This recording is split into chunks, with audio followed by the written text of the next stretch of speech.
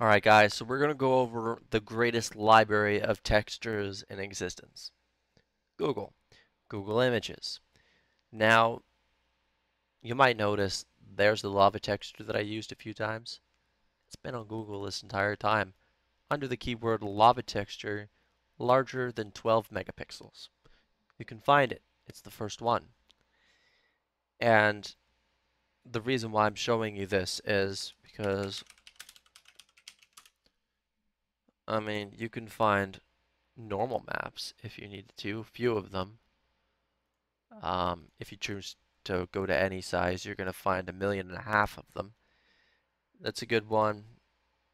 That's definitely would be good for waves, even though it's from NVIDIA. Second thought, don't use that. Um, that might break your game. And uh, the facts are, you can find normal maps for anything you can find texture files that you can turn into normal maps with applications like uh, Crazy Bump there. And create specular water like this. It's an unlimited resource. Google is the way to find good textures. You um, crop them properly. You make them seamless. You save them as a PNG so you don't lose any quality. And, you know, then you use them in the game where you need them to use them.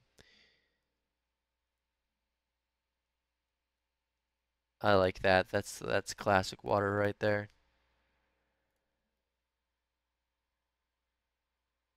A new map1.tn. creating an art spirit in Unity. Oh, look at that. So much you can do. Using flow maps.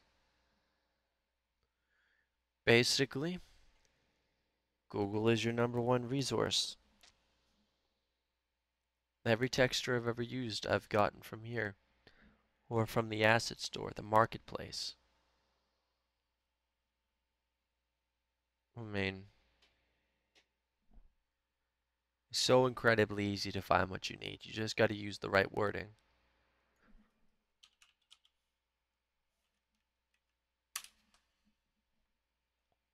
There's texture maps for water.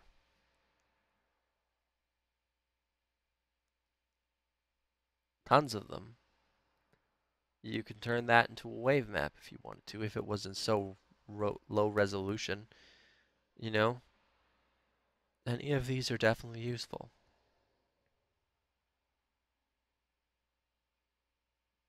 You can make normal maps out of any of them as well. That would be good for um, a flow map as well. Your resources are unlimited here. Say it one last time. With Crazy Bump and Google, your world is unlimited.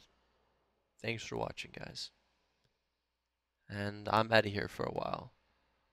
Have fun.